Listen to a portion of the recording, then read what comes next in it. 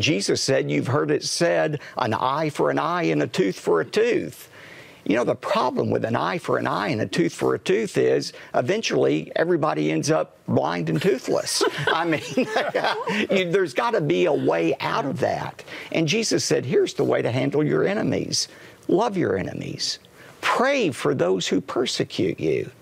You know, if somebody slaps you on the cheek, turn the other cheek. That is unheard of in today's yeah. world of annihilation of your enemies, even among Christians. Uh, and yet, it's the only way to settle a dispute. You know, um, I'll tell you an interesting story. You'll appreciate this. Uh, we have a mutual friend in the former president, and when he went through his first impeachment trial.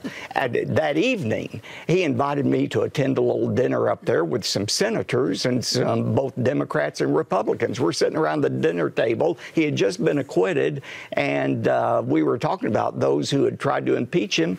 And one of the senators said, Now, Mr. President, remember, the Bible says, love your enemies.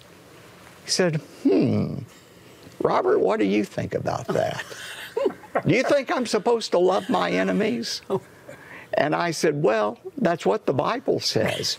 But to love your enemies doesn't mean you hang out with them. It means you want the best for them. You pray for God's best in their life. And that's what Jesus is talking about. When somebody wrongs you, it doesn't mean you are going to be their best friend forever and ever, but you pray that God's will would be done in their life.